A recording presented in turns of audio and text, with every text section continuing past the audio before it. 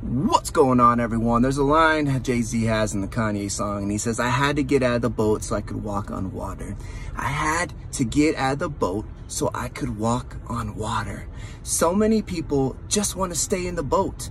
They just want to chill in the boat. The boat's comfortable. The boat is secure. The boat, it, the boat's safety. It's your nice little comfort zone. And you like staying in that comfort zone. But you got to get out of the boat. You got to step out. And he's referring to this, you know, the story in the Bible where Peter gets out of the boat and walks towards Jesus and he walks on water. And so many of the disciples, they just stay in the boat. They just stayed in the comfort zone. They were comfortable. They were secure. And Peter had the cojones to get out and walk on water. And Jay-Z saying, I had to get out of the boat to walk on water. I'm challenging you. Get out of the boat. Start walking on water today. Don't stay in the boat. The boat is comfortable. I understand it. Yes, it's nice. It's relaxing. It holds you. It coddles you. It makes you feel nice and warm. It makes you feel like you're doing something because the boat's still going in a direction. It's still moving. So you feel like, ah, I'm safe. I'm going. I might be going slow, but I'm going in a direction. But no, step out. Step out of the boat walk on the water, which means you got to challenge the status quo. You have to challenge what's out there pushing the boat.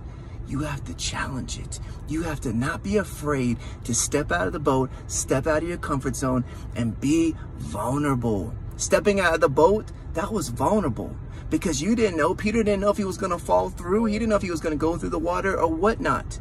He had to be vulnerable. He had to be scared and do it anyways.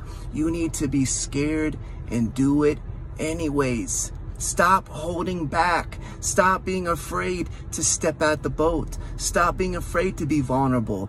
Being vulnerable is fine. It's a good thing. It lets you know that you're human. It lets you know that you bleed. It lets you know that you shouldn't get too big for your britches and think that you're better than people. Vulnerability is a good thing, but you got to be able to be afraid and do it anyways. Step out.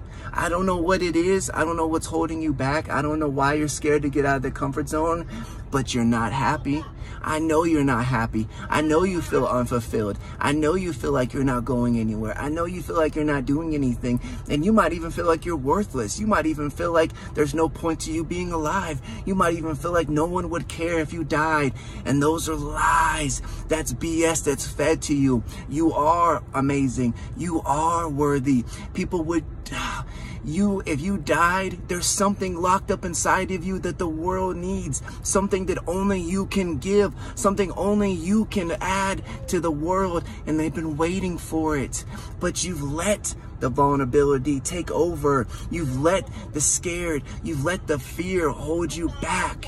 Maybe it's because what your parents said, your teacher said, society, pastors, whoever, I don't know, a boyfriend, girlfriend, whatever. But don't Allow it to keep you in the boat. Step out of the boat, just like Jay said. Step out of the boat, start walking on the water, and start changing the world in the way that you like to see it shaped. You are worthy. You are wise. You are amazing. You are powerful. You are somebody that can change the world with your mouth. Your mouth, your mind, and your heart can change the world. But you gotta believe and you gotta start doing it.